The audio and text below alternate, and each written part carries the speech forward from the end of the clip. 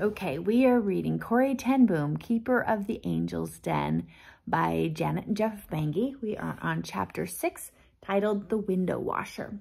What possible good could it do, taking her away? Willem asked Corrie. She couldn't work, and it would take effort and money to transport her on one of their trains. He was referring to the 91-year-old blind Jewish woman the Nazis had carried away from his rest home. Corrie stared into his tired eyes. She had no answer. So many questions in Holland were now unanswerable. Most of the time it was too painful to even ask the questions. By 1943, there were few Jews left in the country and they were all in hiding. Those who were found were herded onto trains and shipped off to concentration camps, never to be heard from again. By summer 1943, the Beje had six permanent guests four of them Jewish, and a steady flow of others, mainly Dutchmen, trying to avoid being sent to the labor camps. Sometimes when the situation was not too tense, Hans, one of the guests, would spend hours retyping papers and letters that told other Dutch people about the awful things happening in their country and in Germany, and laying out how they could play a part in helping stop them. At other times, such as when Nolly was arrested for hiding a Jewish girl in her home, it was simply too dangerous to do much but lay low and wait. During those times, the men would take two-hour shifts peering out through the blackout curtains, hoping that if the Gestapo did raid their hiding place, they would be able to sound an alarm early enough and give themselves an extra 30 seconds to make a run for the Angel's Den, the name they had given the secret room. The days seemed to drag on and on. Of course, the guests couldn't leave the Beje, except in an emergency. Sometimes, though, they were able to sit on the roof in small groups. A thin balcony, about seven feet wide and 20 feet long, ran down the middle of the roof of the front house. The Ten Booms had put a washing line on the balcony, and many of the family chores, such as peeling potatoes and mending clothes, were done there during the day. Since the balcony was not visible from the street, the guests were able to relax a bit and enjoy the sunlight and envy the birds that flew freely around Haarlem. The nights were more interesting than the days. Electricity was now being shut off at dusk to conserve energy for the German war effort. So many homes in Haarlem created ways to make their own lights. At the Beje, Corrie's bicycle was wheeled into the dining room after dinner and set on a stand. One after another, people took turns pedaling with all their might. Of course, the bicycle didn't go anywhere, but the spinning back wheel worked the dynamo, which in turn lit the lamp on the front of the bike. As the light shone, one person would pull his or her chair close to it and perform the agreed upon entertainment. Leendert, who had installed the alarm in the house, gave lectures on Dutch literature and organized play readings. Mary, who had been a travel agent for an Italian company in Amsterdam, gave travel talks on famous places in Italy and tried to teach everyone Italian. Even Casper ten Boom, who at 84 had little use for Italian, showed up for her lessons with a small black notebook and a freshly sharpened pencil. Hans taught astronomy, and then the bike would be wheeled over to the piano where Mary would play her music. Often, some of the other guests would join in with a violin or oboe. Many books were read aloud during this time. There were books of plays, poems, history, mystery, anything to pass the time and keep people's minds off the terrible things going on outside their little refuge. But it was not easy to forget. Every person who entered the Beje could be a spy, and even a person loyal to the cause might be caught and tortured by the Gestapo for information. No one knew for sure how anyone would respond to the Gestapo's tactics. They all knew, though, that under torture, any contact could give them all up, so imaginations often ran wild, wondering whether things that seemed normal and innocent were really that way or whether they were a cover for something much more sinister. One lunchtime in June of 1943, the nine people in the house, Corrie, Betsy, their father, plus the six guests, were seated around the dining room table. Suddenly, they heard a scraping noise outside and everyone stopped eating. Corrie looked towards the window and froze. There was a man staring in at them through the flimsy lace curtains. Corrie wondered how that could be. He would have to be eight feet tall to see in that window. And so he was, with the help of a ladder. They all watched as he wet the window with a cloth and began rubbing it energetically. We didn't order a window washer, Corrie hissed under her breath. Everyone sat staring until Eusie broke the silence and whispered urgently, Keep talking, we're having fun. We are all at Mr. Ten, Ten Boom's birthday party, and in just a minute, we will sing to him. Corrie lifted the half-eaten slice of bread to her lips. Her mouth felt far too dry to swallow anything, but she knew Eusie was right. They must act normal. Mary passed the salt, and Hans told a joke. They all laughed loudly at it.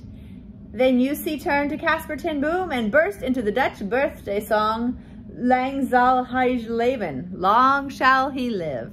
Everyone applauded enthusiastically at the end of the song, and Corrie felt it was then safe to get up from the table and talk to the window washer. Good day, she said as she popped her head out the door. I didn't know we had arranged to have our windows washed today. With the window washer looked back at her with surprise. Isn't this the Baker house? he asked. No, laughed Corrie as best she could. I think you have the wrong address. Some friends and I are in the middle of celebrating my father's 85th birthday, so it's not a day for window washing. Won't you join us? She asked, forcing a smile.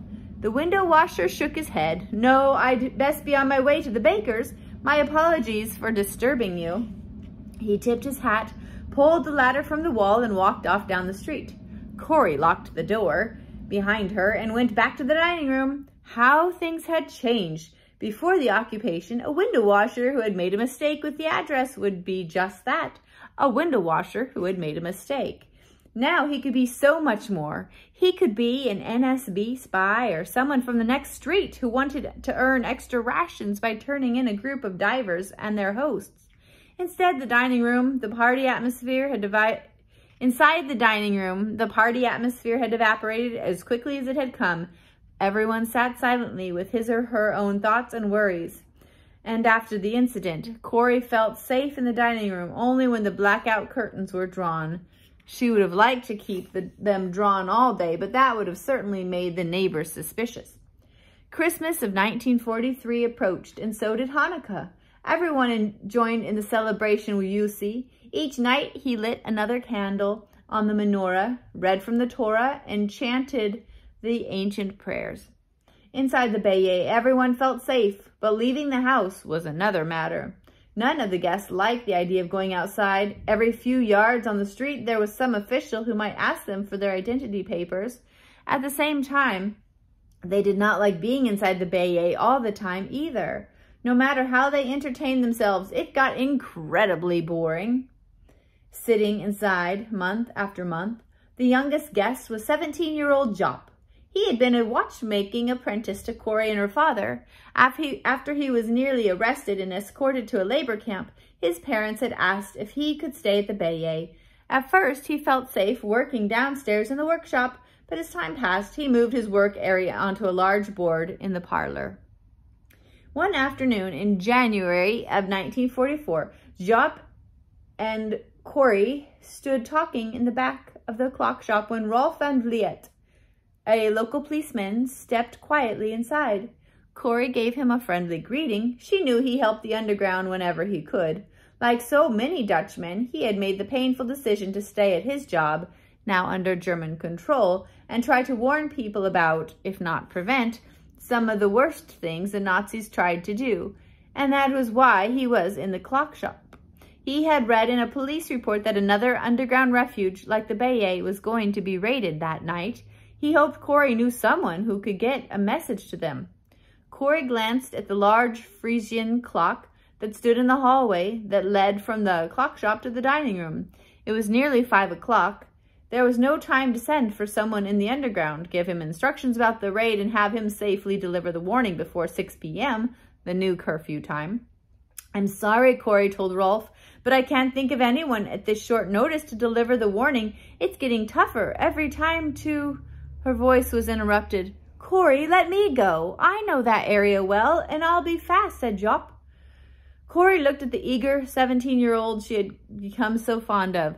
Jop's parents were grateful that he was safe at the Beje. Eh? How could she allow him to go on such a dangerous mission? On the other hand, how could she not let him go? He was the best hope for warning an entire family like the one at the Beje, eh? and they were about to be raided. How would she feel if someone could have warned them of an impending raid but didn't? You'll have to be very careful, she said quickly, hoping she wouldn't regret the decision, and we'll have to get you dressed. Jop smiled. He had seen enough comings and goings at the Beje to know that the young men seldom went out onto the street without a dress, hat, and muff on. These days, it was much safer to be a young woman than a young man in Holland, unless, of course, you were stopped and asked to produce identifications. Then the young woman better know how to run long and fast. Ten minutes later, dressed and ready, Jop kissed Corrie goodbye and slipped out the side door. Corrie waited patiently for him to return. Finally, the bells of St. Bavo Church chimed six o'clock, and Corrie knew she would not be hearing from Jop until morning. Once it was curfew time, he would not risk returning to the Beje. He would find himself somewhere to hide for the night.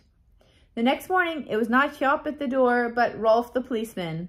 Rolf had bad news. When Jop had knocked on the door of the house, the supposed owner answered. Not being a regular member of the underground, Jop didn't know that the man wasn't the real owner. He gave him the warning, and then the door swung open wider to reveal two Gestapo agents with their guns drawn. Corrie felt herself go pale. I should never have let him go. I should never have let him put himself in danger, she whispered. Rolf put his hands on hers. We all do what we think is best at the time. Corrie nodded. She knew he was right. No one was any more or less danger than anyone else in Holland these days. I hate to say this, Rolf went on, but no 17-year-old boy can keep secrets from the Gestapo. They have terrible methods. His voice trailed off. He didn't need to say any more. Corrie knew exactly what he meant. It might take an hour or a day or a week, but in the end, Jop would tell them something about what was going on at the Beje.